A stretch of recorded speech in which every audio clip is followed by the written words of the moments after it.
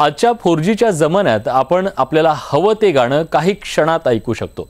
पण समाजात असे काही घटक असतात की त्यांना ही गाणी ऐकता येत नाहीत आणि तो घटक म्हणजे कारागृहातील कैदी. पण कोल्हापुरातल्या कारागृहात कैद्यांसाठी एक आगळं वेगळं रेडिओ स्टेशन उभं करण्यात आलंय.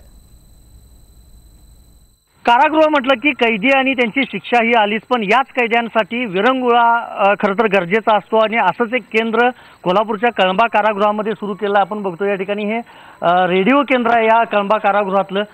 हे चित्र आहे. आणि नंतर आपण जर बघितलं तर या ठिकाणी हे भिंतीवर देखील एक डान्सचं चित्र या ठिकाणी लावण्यात आलेलं आहे. आणि इथं हे रेडिओ केंद्र आहे खरं तर आपण बघतोय. कोल्हापूर मध्यवर्ती कारा कारागृह कळंबा या नावानं. आणि आपण बघतो ही अनाऊन्समेंट चालू आहे. हुजूर इस कदर पे न इतरा के चलिए. फरमाईश केले विश्वास कदम यांनी सर्कल क्रमांक दोन दोन. त्यांच्या आवडीचं गीत आपण ऐकूया आता.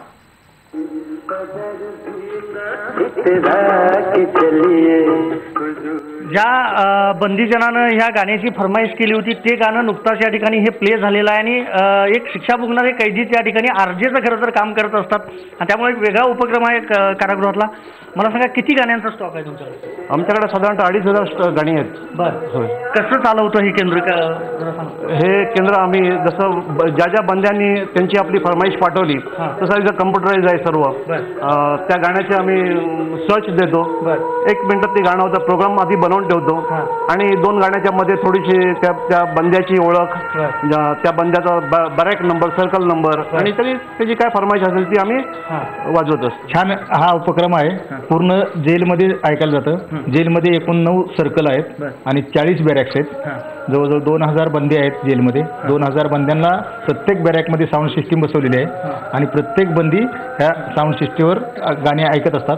त्यांच्या फरमाईश देत असतात. प्रत्येकामध्ये खरं तर एक सुप्त कलागुण दडलेला असतो आणि याच कलागुणां गुणांना एक प्रकारे वाव द्यायचा प्रयत्न कळंबा कारागृहामार्फत या ठिकाणी हा केला जातोय.